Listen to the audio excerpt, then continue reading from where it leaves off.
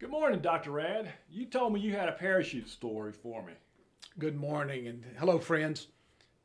This is a story about Charles Plumb. He was a U.S. Navy jet pilot in Vietnam. After 75 combat missions, his plane was destroyed by a surface to air missile. Hmm. Plumb ejected and parachuted into enemy hands. He was captured and spent six years in a communist Vietnamese prison. He survived the ordeal and now lectures on lessons learned from that experience.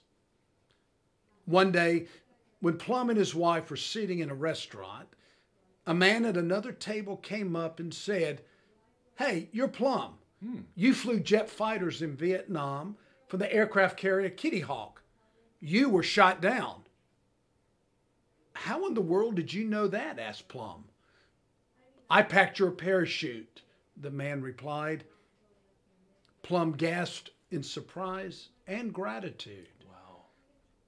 The man pumped his hand and said, Hey, I guess it worked. I guess it did.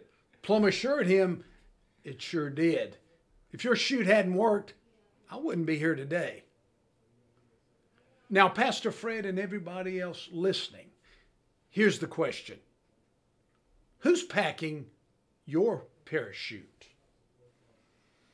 Well, we're like a big piece of equipment parachuting out of a plane. You know, it takes more than one parachute.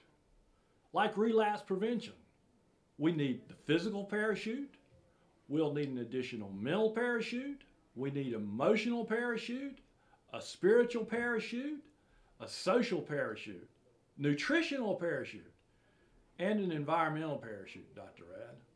You're right, Pastor Fred. It is so important to know why we are packing this parachute because every day we need a safe landing zone away from the opioid monster amidst this crisis.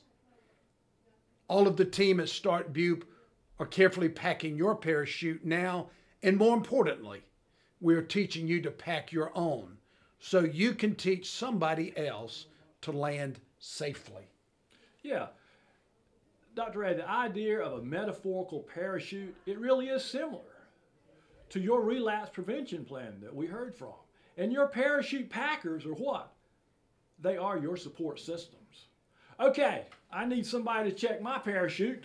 Oh, wait a second, Dr. Ed. Let me get ready as I put this thing on and get ready to go. So again, I want to thank you, Dr. Raad.